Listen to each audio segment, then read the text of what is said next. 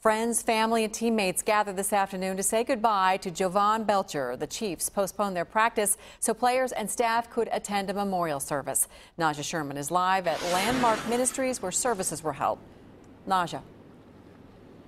Good evening, Elizabeth. The funeral was closed to the public, but we have learned that General Manager Scott Pioli spoke at the funeral, as well as one of Jovan Belcher's uncles. We were here as the four charter buses filled with Chiefs players arrived about 1.30 this afternoon. Head coach Romeo Crennel was the first person to get off the bus, where he was greeted by another man before walking into the service through the back door. Then General Manager Scott Pioli arrived. He got off the bus and walked walked into the service, followed by several Chiefs players. Then the Hunts arrived in a black SUV. That service lasted for about an hour, and following the service, we watched as pallbearers escorted the casket carrying Jovan Belcher's body into the hearse.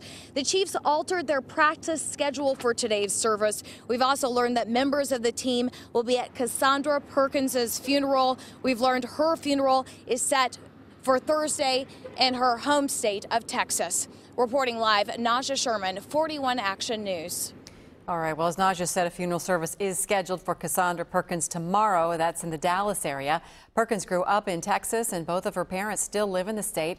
The service starts at 1 p.m. at Ridgeview Family Fellowship Church in Blue Ridge, Texas.